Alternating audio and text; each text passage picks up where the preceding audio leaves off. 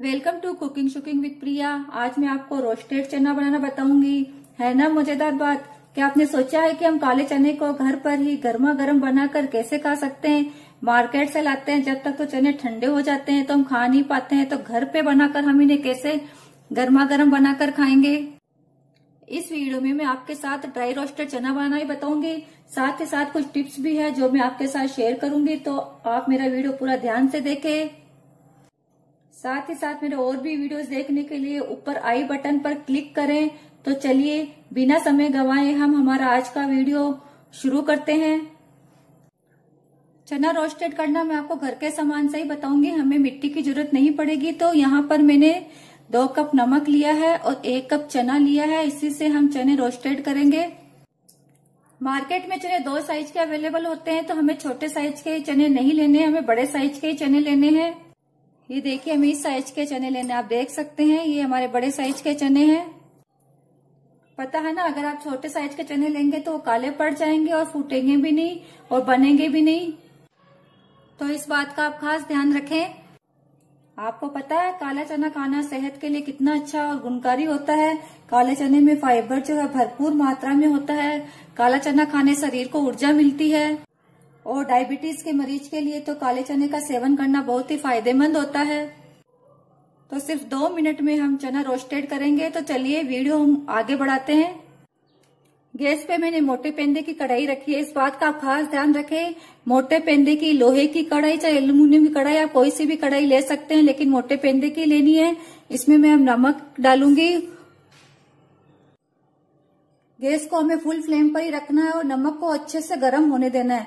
जितना नमक अच्छा गर्म होगा, चने हमारे उतने ही जल्दी बनकर तैयार होंगे नमक को हमें लगातार चलाते रहना है, जब तक कि नमक अच्छे से गर्म नहीं हो जाए, इसको हमें पूरा अच्छे तरह से गर्म करना है। नमक को हमें फेंकना नहीं है, ये नमक बहुत सारी चीज़ें बनाने में काम आता है, बेकरी के आइटम जैसे बिस्किट बनाने में और केक बनाने में भी हम इसको यूज़ में ले सकते हैं, बस इसका कलर चेंज हो जाता है। लेकिन बेक करने में कोई भी प्रॉब्लम नहीं आएगी। तो नमक को भरकर आप ठंडा होने पर एक डिब्बे में भरकर रख सकते हैं। आप देख सकते हैं नमक अच्छा गर्म होने लग गया है। अब इसमें हम चने ऐड कर देंगे और इसको हम हिलाएँगे एक बार। फ्लेम को मीडियम ही रखनी है। देखिए, चने फूटने लग गए हैं। आप देख सकते हैं। इसको अभी हमें और इसी तरह लगातार चलाते रहना है, जब तक कि पूरे चने नहीं फूट जाएँ। आप देख सकते हैं। काफ़ी हद तक चने हमारे बन गए हैं। थोड़े भी और बनने बाकी है। सारी चने अच्छी तरह से हमारे भुन गए हैं। इन्हें भुनने में सिर्फ़ दो मिनट का समय लगा है। अब इन्हें हम निकाल लेते हैं इस तरह। आप देखें कितने अच्छे भुनकर तैयार हुए हैं। इस तरह देखिए सारे चने निकाल के प्लेट में ले लिए हैं।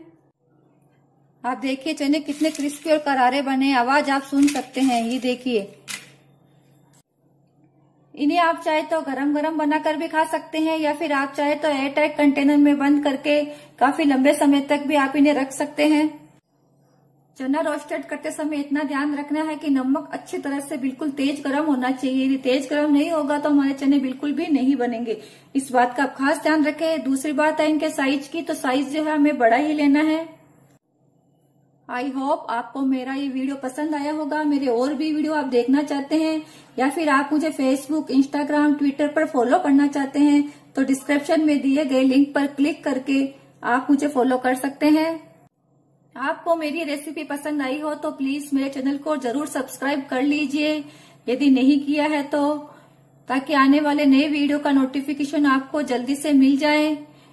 मेरे वीडियो को लाइक करें कमेंट करके बताएँ कि आपके चने कैसे बने हैं? साथ ही साथ अपने ग्रुप्स में, अपने फ्रेंड्स के साथ शेयर करना न भूलें। Thank you for watching my video आपका दिन शुभ रहे।